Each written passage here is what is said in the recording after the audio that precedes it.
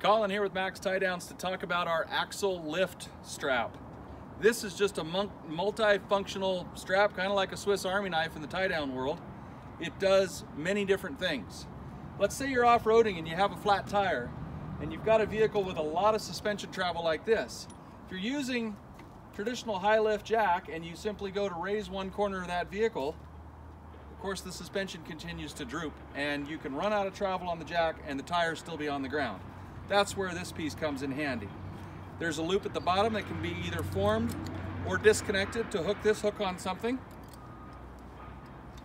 On the top side or the ratchet end of things, we've got a loop that can come back to an S-hook. The S-hook can be used on its own. This can be doubled back and used as a continuous loop, like if you need to bundle something. Just a lot of different possibilities with this great little strap. So for demonstration, I'm gonna take this go around the differential here and come back to itself to the D-ring. And then on the top end, this shock mount lends itself really well just to hang that S-hook over the shock mount.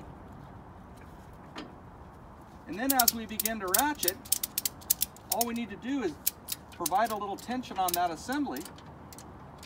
And then when I move to my high lift jack, the wheel will travel up with the Jeep, allowing us in a few short clicks to be able to change this tire if it were flat.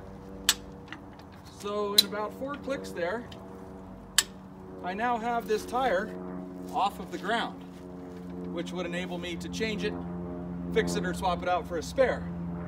Otherwise, as you can see, in about another six inches, I'm gonna run out of uplift on that jack, tire would still be on the ground.